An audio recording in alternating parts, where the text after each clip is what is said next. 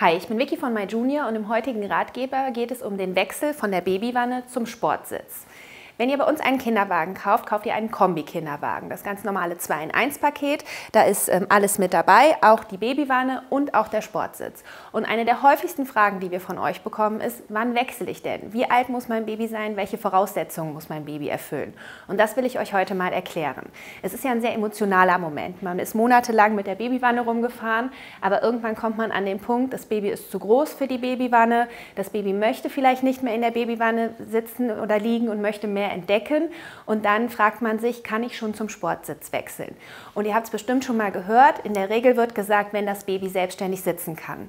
Das ist ja ganz unterschiedlich. In der Regel passiert das zwischen acht und zehn Monaten, bei einigen Babys früher, bei vielen Babys aber auch erst später.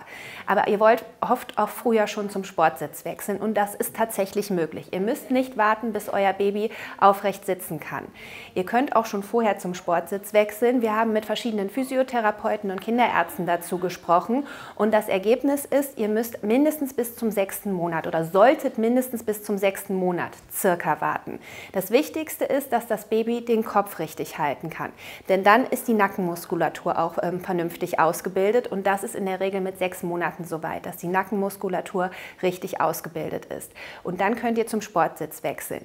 Aber ihr dürft nicht schon zum Sportsitz wechseln in dieser geraden aufrechten Position, die jetzt hier gerade eingestellt ist. Dafür ist euer Baby noch zu klein wenn es noch nicht alleine aufrecht sitzen kann. Diese gerade Position, also erst, wenn euer Baby von alleine sich hinsetzen kann.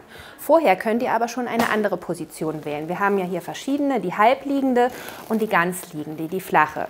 Die könntet ihr zum Beispiel am Anfang wählen, wenn ihr euer Baby reinigt. Ihr hat es schon mal eine andere Perspektive. Ihr könnt es vernünftig mit dem Magic Lock System anschnallen und da kann dann nichts passieren.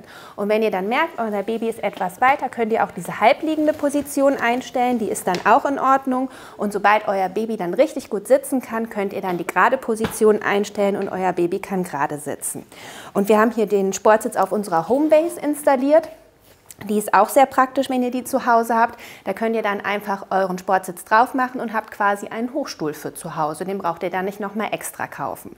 Und wenn der ähm, Wechsel dann irgendwann ansteht, ist das auch ganz einfach. Ihr habt den Sportsitz ja dann schon zu Hause und könnt die Babywanne, das kennt ihr von eurem Kinderwagen, hier ganz einfach rausklicken und dann den Sportsitz darauf installieren. Und dann kann euer Baby auch nachher im Sportsitz mitfahren und die Welt ganz anders entdecken. Ich hoffe, das hat euch ein bisschen weitergeholfen. Also wartet mit dem Wechsel, bis euer Baby den Kopf richtig gut halten kann und die Nackenmuskulatur ausgebildet ist. Und die gerade Position, wie gesagt, erst, wenn das Baby selbstständig sitzen kann.